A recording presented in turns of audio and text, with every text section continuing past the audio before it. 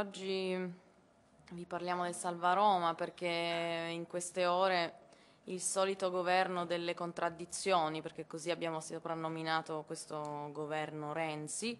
eh, si è presentato in aula eh, dicendo che il decreto Salva Roma eh, veniva in qualche modo sospeso. E il neoministro Boschi eh, ha proprio detto che si sarebbe fatto un disegno di legge, invece guarda caso eh, a poche ore dal suo annuncio a Palazzo Chigi sono già chini a scrivere un nuovo decreto Salva Roma. E noi siamo certi faranno il solito decreto, l'ennesimo decreto, sarà uguale all'altro, agli altri, perché questo è il secondo, eh, nella sua disomogeneità, eh, nella sua incostituzionalità e nel suo criterio ricattatorio di eh, ci mette una cosa buona ma anche una cosa che mi interessa. Questo meccanismo che più volte vi abbiamo raccontato, eh, la politica del ricatto, insomma. Eh, questo è l'ennesimo esempio che eh, vede questo Paese di come un forte mal di pancia di un partito come il PD eh, mette in ginocchio in maniera continua un Paese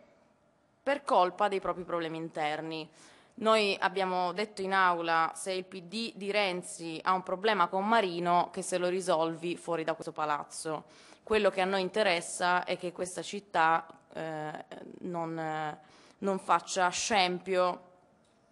dei beni pubblici e dei servizi pubblici. Eh, sono stati tutti molto bravi a buttarci sulle spalle la colpa, subito,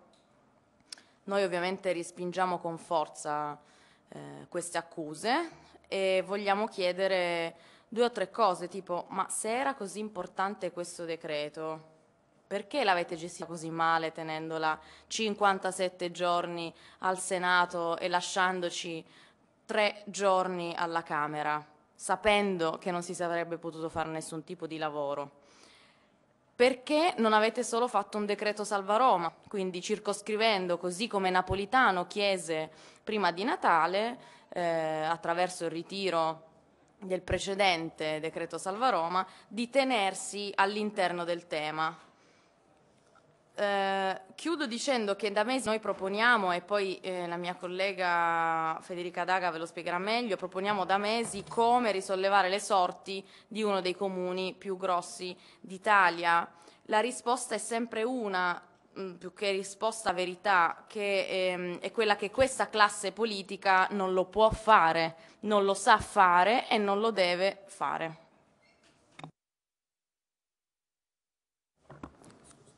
Tra le altre cose, come avete visto in queste ore, le dichiarazioni dei membri della maggioranza del governo, anche della vicepresidente della Camera, sono state abbastanza frettolose, forse ambigue, perché il decreto è stato ritirato, senza che in realtà si iniziasse a votare in aula alcun emendamento. Si è arrivati in aula con un fascicolo di emendamenti che, su cui era stata richiesta per l'appunto la votazione del eh, mandato al relatore, senza completare però già in commissione l'analisi di tutti gli emendamenti.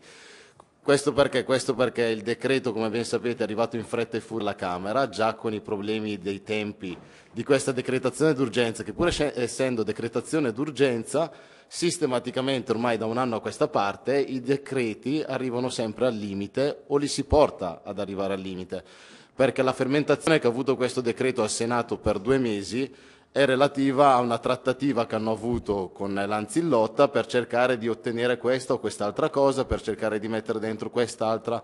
o eh, fare varie modifiche al decreto stesso. Per due mesi quindi la maggioranza l'ha tenuto al Senato, non l'opposizione. L'opposizione ha dichiarato il suo voto contrario al Senato, al Senato come sapete non ci sono eh, possibilità re da regolamento per fare ostruzionismo, l'unico modo è dichiarare il voto contrario, così come hanno fatto i nostri senatori eh, del Movimento 5 Stelle. Arrivato alla Camera noi abbiamo proposto i nostri emendamenti migliorativi del testo. Logicamente, essendo in scadenza, il governo blinda come da sempre e la maggioranza blinda come da ormai un anno blindano continuamente i decreti senza la possibilità di poter discutere questa che, ribadiamo, è la seconda puntata della telenovela del Salva Roma. E la prima puntata, come vi ricorderete, era, era, scaduta praticamente verso la fine di dicembre quando su pressioni del Presidente della Repubblica poi era stato ritirato dal governo proprio perché incostituzionale. La trattativa Lanzillotta che c'è stata al Senato, ma poi naturalmente quello che succede è che la maggioranza anche alla Camera cerca in qualche modo di comprarci, possiamo dirlo. E qual era quello che ci hanno proposto? Ci hanno proposto, va bene, voi fate passare in maniera liscia alla Camera il decreto Salva Roma e noi vi calendarizzeremo una delle vostre proposte di legge. Capite che è ridicolo da una maggioranza che dovrebbe calendarizzare sempre le proposte di legge, anzi è nelle nostre prerogative quelle di chiedere la calendarizzazione delle nostre proposte di legge trimestralmente, è un po' un non senso. Sono arrivati al punto, la maggioranza stessa, da non sapere cosa fare sul decreto e i problemi per l'appunto con Marino tra la maggioranza, tra il PD di Renzi, il PD che aveva fatto la trattativa, il PD di Letta che aveva fatto la trattativa con Marino e attuali, l'attuale relatore e l'attuale commissione bilancio, la parte formata dal PD, eh, ad avere continue telefonate naturalmente con Marino che chiedeva fino a mai la possibilità di mettere la ghigliottina anche su questo decreto e chiedeva se la maggioranza il PD potessero in qualche modo spingere la Presidente della Camera a mettere la ghigliottina, cosa che naturalmente non è stata fatta e sapete e penso che sappiate bene i motivi. Però anche qua due pesi e due misure. L'hanno fatto naturalmente sul decreto Banca Italia perché era un decreto che pesava 7 miliardi e mezzo e c'era interesse di farlo, probabilmente in realtà non hanno tutto questo interesse a fare del bene e l'abbiamo visto per i comuni o per la città di Roma e quindi hanno, vedremo cosa faranno nelle prossime ore in merito.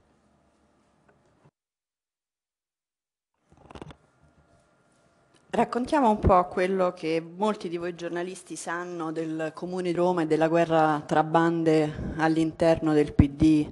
che si attua a tutti i livelli. Qui abbiamo visto sciolto nell'acido praticamente l'ex Presidente del Consiglio, a Roma stanno cercando di fare lo stesso trattamento per il Sindaco Marino che non è il nostro sindaco ovviamente, eh, non è il nostro il candidato sindaco che noi come Movimento 5 Stelle abbiamo supportato perché come sapete bene eh, avevamo il nostro, ma è eh, il sindaco che c'è adesso e con il quale come abbiamo sempre detto, si lavora nel merito dei singoli provvedimenti, quindi con cui siamo pronti a lavorare quando fa eh, atti che rientrano all'interno della cornice del programma del 5 Stelle comunale e come siamo pronti a combattere fieramente quando ovviamente fa eh, atti che sono al di fuori di quello che è il nostro programma. Ehm, I nostri consiglieri comunali con cui ci siamo lungamente confrontati in questi mesi perché noi usiamo fare rete, eh, ci hanno raccontato in tutti questi mesi che eh, molti componenti esponenti della maggioranza e quindi in quota PD gli passavano informazioni per cercare di mettere in crisi Marino, il loro sindaco. Quindi cercavano di usare noi, i nostri consiglieri comunali,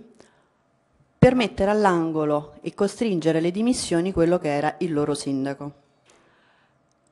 Questo che sta succedendo in questi giorni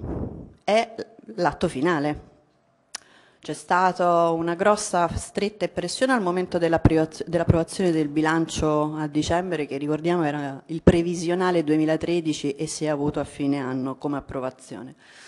Adesso eh, stanno cercando eh, di ehm, far decadere, cioè, o meglio, faranno decadere questo decreto per cercare di aprire due scenari. Il primo scenario, Marino si dimette e va ad elezioni. Il PD ha già un candidato,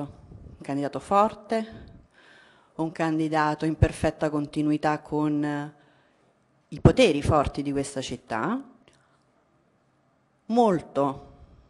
ben accetto ai costruttori, che ricordiamo sono i pupari invisibili di questa città, probabilmente sullo stile renziano adesso di un candidato non, di, non, perfettamente di sinistra e quindi riescono a farlo fuori, la, la versione più semplice. Il secondo scenario che Marino continua a spendere per quello che non può, cioè per dodicesimi, come fece la precedente gestione Alemanno andando ovviamente ancora ad incidere sul debito romano. In teoria si può fare, è stato fatto. In tal caso si rinvia il bilancio previsionale a fine anno, proprio come ha fatto Alemanno, e in questo caso quello che viene sciolto nell'acido è l'assessore al bilancio attuale, Morgante, che sta operando secondo i criteri di spesa previsti dalla spending review, quindi secondo quella che è la norma di legge e secondo anche i criteri di buonsenso, che sono quelli che ci guidano sempre nelle nostre azioni da amministratori, in modo da avere poi il PD campo libero per riuscire a um, operare con tutte quelle politiche di eh, mance, mancette e mangiatoie varie che hanno eh, diciamo, ehm, caratterizzato la gestione amministrativa di questa città negli ultimi anni che ricordiamo, negli ultimi venti anni che è stata caratterizzata da una forte amministrazione di centrosinistra e poi vabbè con l'ultima tornata elettorale l'amministrazione, la penultima anzi, con la gestione Alemanno. Questo è quello che noi sappiamo che ovviamente soprattutto chi segue la cronaca locale ben conosce come scenario, questo è quello che si dice nei palazzi, questo è quello che nessuno però poi scrive o fa vedere perché ovviamente ehm, non, non, viene fuori, non viene fuori quando poi ringraziando i tuoi, eh, il sistema, questa melassa di potere che è stata creata negli anni, riesci a far passare determinate cose all'opinione pubblica piuttosto che altre. Nel merito invece passerei la parola alla mia collega Federica Daga per eh, il merito proprio del provvedimento. Buonasera. Beh, noi sappiamo che in questo momento il sindaco Marino sta eh, riscrivendo il testo per non mandare in default eh, il comune ed è a Palazzo Chigi. E ci auguriamo però che nel nuovo testo non ci siano quelle norme ricattatorie che sono state inserite eh, dal Senato e che promettono quello che chiamiamo il nuovo sacco di Roma. Ehm, il decreto ci andava a chiedere nuovamente di vendere patrimonio pubblico, licenziare, dismettere o mettere in liquidazione le partecipate in perdita, liberalizzare e nel contempo bloccare quelli che sono gli investimenti nei servizi pubblici locali a parte le quotate in borsa. Noi immaginiamo una città differente, una città eh, senza parentopoli, senza privatizzazioni, lottizzazioni, senza discariche e inceneritori, eh, senza cementificazioni selvagge, gestione scellerata del territorio e senza emergenza abitativa. Chiediamo eh, che ci sia eh, più attenzione nei confronti della cittadinanza e chiediamo che eh, la cittadinanza possa partecipare a quella che è l'auditoria del debito eh, in maniera pubblica, che ci sia un maggiore controllo in quella che è la gestione della città e delle decisioni politiche che i cittadini comunque subiscono, giusto o sbagliate che siano, eh, una Roma dove i servizi pubblici siano accessibili e garantiti a tutti e attraverso anche tariffazioni sociali per i giovani, i precari e i disoccupati chiediamo eh, invece di vendere il patrimonio pubblico immobiliare per fare cassa, eh, che questo venga recuperato e utilizzato per risolvere l'emergenza abitativa. Chiediamo che non si soffri nell'emergenza rifiuti e si avvii una concreta eh, raccolta differenziata col fine di recuperare e riciclare il più possibile, creando anche nuovi posti di lavoro eh, l'intento è quello di, di creare appunto il, eh, la chiusura del ciclo virtuoso dei rifiuti, evitando così l'apertura di un nuovo inceneritore nei siti che sono già martoriati di Malagrotta e di Albano Laziale. Eh, chiediamo altresì di riconsiderare le posizioni dei manager e dei dirigenti delle partecipate che sono in perdita prima eh, di eh, guardare al personale in surplus, secondo loro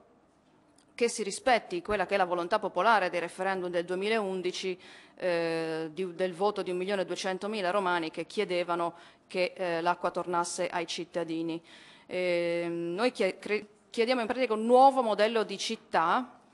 ed è quello che abbiamo effettivamente chiesto una sera al sindaco Marino quando ci ha invitato al Campidoglio per eh, esporci quali, le problematiche della città di Roma e del bilancio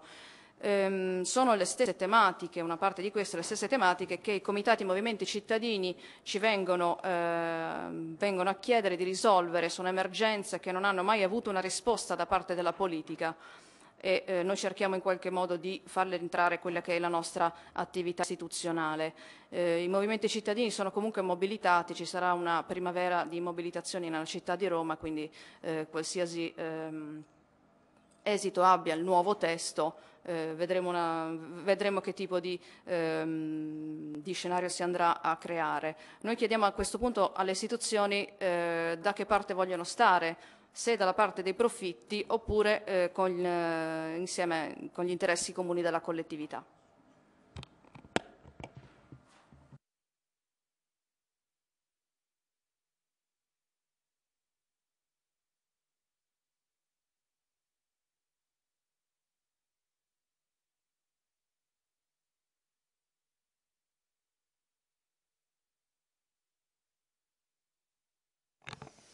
È una delle numerose interpretazioni. La colpa è di un governo e un Parlamento che non riescono a gestire decreti emessi dal governo, la colpa è di un governo che eh, decide di togliere il potere al Parlamento decretando d'urgenza e lasciando una Camera solo tre giorni.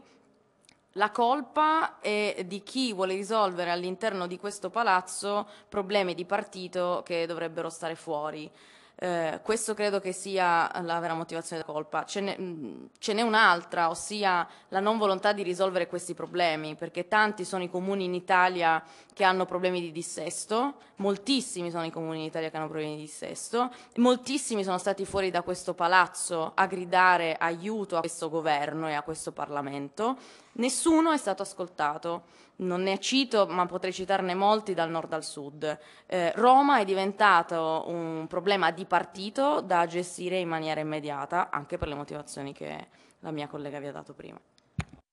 Posso aggiungere una cosa, eh, quelli che sono gli scenari all'interno del PD, soprattutto insomma, del PD romano, non sono eh, frutto di una nostra valutazione, sono ehm, input che ci vengono uh, nei, nei, corridoi, nelle, nelle, stanze, nelle aule, nelle commissioni, trasmessi direttamente da vari membri, quindi eh, alla fine eh, diciamo è, un, eh, è, una valutazione che ci viene da, da quelle chiacchiere che purtroppo non sono mai registrate in maniera ufficiale, ma che eh, alla fine si fanno nel momento in cui lavori fianco a fianco. Come dicevo prima, spesso e volentieri c'è stato proprio un voler eh, mettere in difficoltà l'amministrazione del sindaco attraverso delle segnalazioni dirette da parte della sua maggioranza dicendo no ma perché non punti, non fai un question time su questo, perché non fai, non passi ai giornali quest'altro, eccetera, eccetera. Questo è quello che eh, ci è stato raccontato che succede eh, all'interno, poi insomma voi lavorate nelle, nella politica da anni, sapete benissimo insomma come funzionano queste cose.